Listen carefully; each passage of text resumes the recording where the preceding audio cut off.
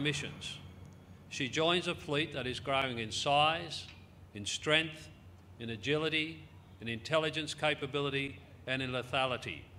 An extraordinarily capable fleet that provides our island continent with the sure shield at sea it needs for the decades ahead.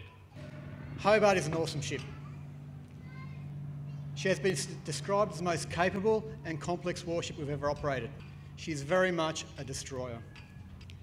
However, without the 185 men and women here before you today, she can only ever be a ship alongside. To be a warship requires their individual and specialist skills and the collective teamwork to work at sea together.